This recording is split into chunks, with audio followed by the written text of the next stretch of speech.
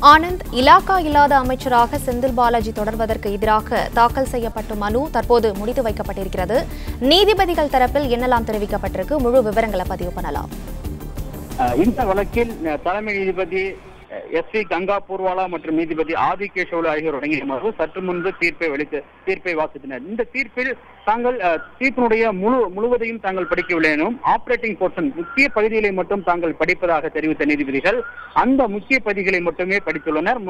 அந்த முக்கிய பகுதிகளில் இந்த வழக்கை பொறுத்தவரை அமைச்சரவையில் செந்தில் பாலாஜி நீடிப்பதும் நீடிப்பது தொடர்பாக முதலமைச்சர் தான் முடிவெடுக்க வேண்டும் எனவும் ஏனென்றால் அதற்கான அதிகாரம் முதலமைச்சருக்கு மட்டுமே இருப்பதாகவும் எனவே யாரை அமைச்சரவை அமைச்சரவையில் நீடிக்க வேண்டும் நீடிக்கக்கூடாது என்பது தொடர்பாக முதலமைச்சருக்கே அதிகாரம் இருப்பதாகவும் நீதிபதிகள் தங்களுடைய தீர்ப்பில் தெரிவித்திருக்கிறார். ஆனால் தற்போதைய சூழல் இந்த சூழ்நிலைகள் மற்றும் இந்த நிகழ்வுகளை பார்க்கும் பொழுது அமைச்சரவையில் செந்தில் பாலாஜி நீடிப்பது தார்மீக ரீதியில் சரியானதாக இருப்பதாக இந்த நீதிமன்றம் கருதவில்லை எனவும் அவர் அவர் அமைச்சரவையில் நீடிப்பதற்கு தார்மீக ரீதியில் அஹ், சரியானதாக இல்லை என நீதிபதிகள் தங்களுடைய கருத்தை தெரிவித்திருக்கிறார் மேலும் முழுவதுமான உத்தரவு நகல்கள் நாங்கள் உடனடியாக வழங்குவதாகவும் அந்த உத்தரவு அந்த உத்தரவு நகல்களில் அனைத்து அம்சங்களும் இருப்பதாகவும் நீதிபதிகள் தெரிவித்திருக்கின்றனர். மேலும் இந்த வழக்கை பொறுத்தவரை அனைத்து வழக்குகளையும் மூன்று பேர்கள் தனித்தனி கோரிக்கைகள் தொடரப்பட்ட அந்த மூன்று நபர்களின்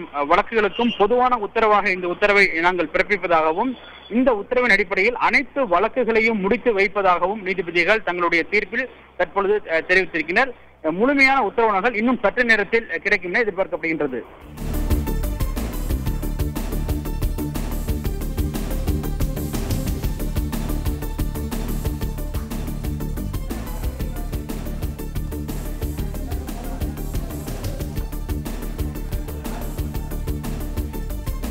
செந்தில் பாலாஜி அமைச்சராக தொடர்வது குறித்து முதலமைச்சர் தான் முடிவெடுக்க வேண்டும் என நீதிபதிகள் தரப்பில் தெரிவிக்கப்பட்டிருக்கிறது. இது தொடர்பான விவரங்களை தொடரலாம் ஆனந்த். இந்த வழக்கை பொறுத்தவரை அஹ், வழக்கு அஹ், கடந்த ஜூன் மாதம் பதினான்காம் தேதி அஹ், அமைச்சர் அஹ், செந்தில் பாலாஜி சட்ட பணப்பரிவர்த்தனை வழக்கில் அமலாக்கத்துறையால் கைது செய்யப்பட்டார். அவர் கைது செய்யப்பட்டதற்கு பிறகு அஹ், அவர் எதன் அடிப்படையில் எந்த தகுதியின் அடிப்படையில் அமைச்சரவையில் தொடர்ந்து நீடிக்கிறார் என அமைச்சருக்கு தகுதி இல்லை. அவரை தகுதி நீக்கம் செய்ய உத்தரவிட வேண்டும் என கோரி சென்னை உயர்நீதிமன்றத்தில் வழக்குகள் தொடரப்பட்டது.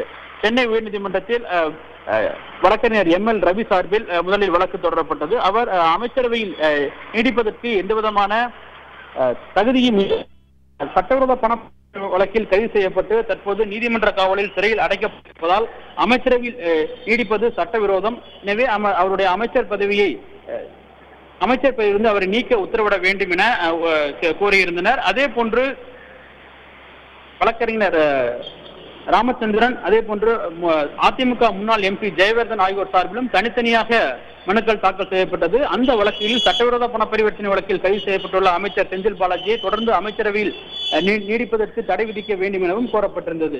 இந்த வழக்குகள் அனைத்தும் கடந்த மாதம் இறுதி விசாரணைக்கு வந்த பொழுது அரசினுடைய தலைமை வழக்கறிஞர் சண்முக சுந்தரம் ஆஜராகி அரசியல் சட்ட பிரிவுகளையும் உச்சநீதிமன்ற அரசியல் சாசன அமர்வுகளையும் மேற்கோள் காட்டி தன்னுடைய வாதங்களை முன்வைத்தார். அதன் அடிப்படையில் அமைச்சரவையில் யாரை நியமிக்க வேண்டும் யாரை நியமிக்க கூடாது என்பது தொடர்பாக முதலமைச்சரின் தனிப்பட்ட விருப்ப உரிமைகளுக்கு கீழ் உள்ளதாகவும் அவர் யாரை வேண்டுமானாலும் மு- முதலமைச்சராக முதலமைச்சர் யாரை வேண்டுமானாலும் அமைச்சரவையில் தன்னுடைய அமைச்சரவையில் வைத்துக் கொள்வதற்கான அதிகாரம் இருப்பதாகவும் எனவே தற்போது நிலையில் அமைச்சர் செந்தில் பாலாஜி எந்த குற்ற வழக்கிலும் தண்டிக்கப்பட்டவர் அல்ல எனவும் அவருக்கு எதிராக வழக்கு பதிவு செய்ய வழக்கு பதிவு செய்யப்பட்டிருக்கு வழக்கு விசாரணை நடைபெற்றிருக்கிறது.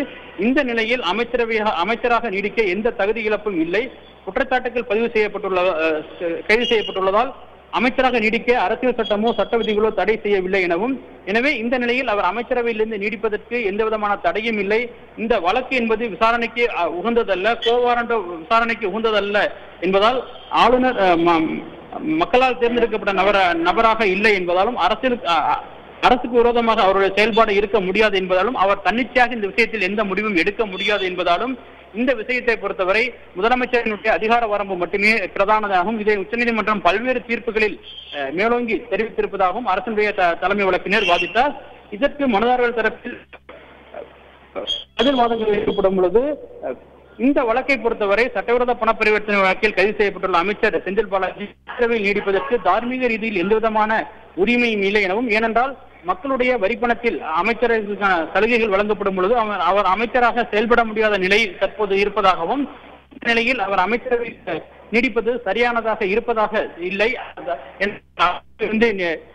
நீ- நீடிப்பதற்கு தடை விதிக்க வேண்டும். அமைச்சரிலிருந்து நீக்க உத்தரவிட வேண்டும் எனவே வாதிடப்பட்டது. அனைத்து தரப்பு வாதங்களுக்கு பிறகும் வடக்கினுடைய தீர்ப்பு தள்ளி வைக்கப்பட்ட நிலையில் இந்த வழக்கில் இன்று நீதிபதிகள் தலைமை நீதிபதி எஸ் பி கங்காபூர்வலா நீதிபதி ஆதிகேசவல் ஆகியோர் அடங்கிய அமர்வு தீர்ப்பை வாசித்தனர். அந்த தீர்ப்பில் அமைச்சர் செந்தில் பாலாஜியை அமைச்சரவையில் நீடிப்பது தொடர்பாக முதலமைச்சரை முடிவு செய்ய வேண்டும் எனவும் முதலமைச்சர் தான் அது தொடர்பாக இறுதி முடிவை எடுக்க முடியும். இதில் நீதிமன்றம் எந்த விதமான உத்தரவையும் பிறப்பிக்க முடியாது எனவும் ஏனென்றால் அமைச்சரவையில் யார் யாரை வைத்துக் கொள்ள வேண்டும் யார் யாரை வைத்துக் கொள்ள கூடாது என்பது தொடர்பாக முதலமைச்சருக்கு அதிகாரம் இருப்பதாகவும் இது அரசியலமைப்பு சட்டம் சட்டத்தின்படியும் அதற்கான உரிமை இருப்பதாகவும் நீதிபதிகள் தெரிவித்திருக்கின்றனர்.